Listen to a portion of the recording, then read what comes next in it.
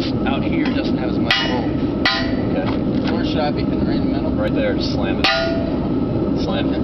Just watch it. Just kind of. Alright, you flip it over. You're bending it. Now just, he can straighten it out.